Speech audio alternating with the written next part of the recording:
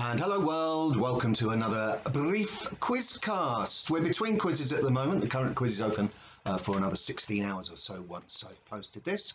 Uh, but a brief shout out to our Bulgarian team members who are getting good answers on the sports. In fact, they're beating most of the Brits on this one.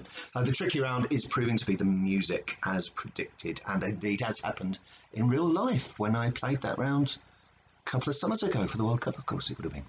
Right, a request. Any? Uh, well, you a request to you to send me requests. What topics you would like, if you would like specific fields covered in future quizzes. I'm getting stuff lined up. I've already got a geography themed quiz coming up this week.